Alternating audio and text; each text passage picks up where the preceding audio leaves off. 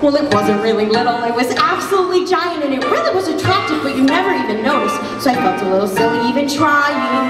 Besides which, the tail was too heavy for normal flying. Well, when the hunters caught you, I could see that I'd been foolish because I couldn't even help you know I couldn't even fly.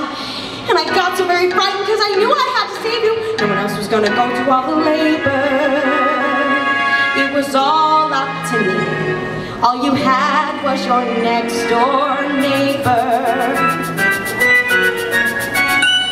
So I ran to the doctor, the doctor named Dake, and I said, my tail has been a mistake! And I said, Dr. Dake, I've been foolish and vain. Plug it out, get it off,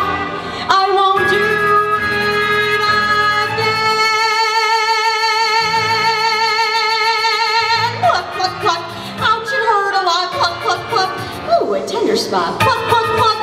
Just a one feather tail. And suddenly, Gertrude could sail. I sailed on a junk and was practically sunk for you.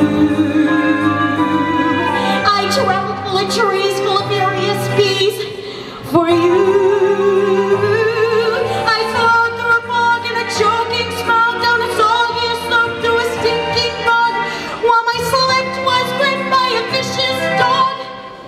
For you. I traveled in the snow in a living below for you.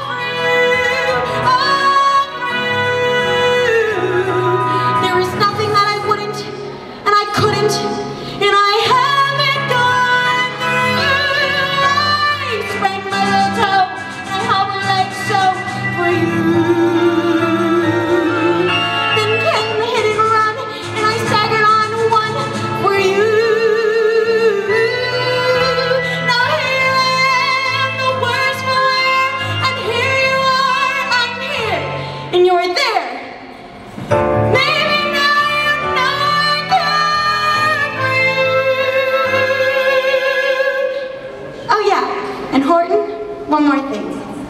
It took me seven weeks, but I found your